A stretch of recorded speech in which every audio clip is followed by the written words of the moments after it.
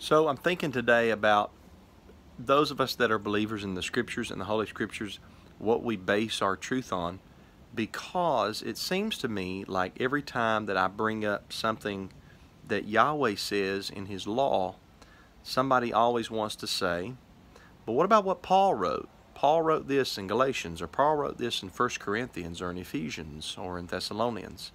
And it is though people think that what we believe has to hinge or turn on what Paul said or wrote.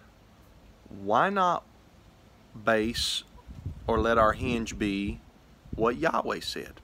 Why not interpret Paul in light of what Yahweh has already said back in his law or in what we call the the Torah or the rest of the Old Testament? Why can't that be the hinge? Why does what Paul said have to be the hinge? So when we read something in Paul and it seems like it contradicts what Yahweh said, we may look and see that Paul was giving his own opinion.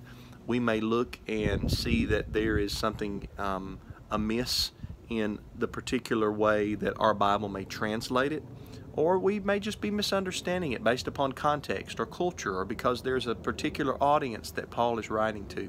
But I don't think that we should read Paul and let Paul be the hinge on what we believe and that, well, I know that Yahweh said this, but Paul said this, so that overturns what Yahweh said. I don't, I don't think it should be that way.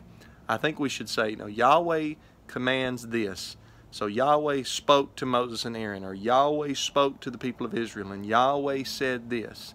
That should be paramount, that should be primary, and we should interpret everything else as subservient or subordinate to that which Yahweh spoke.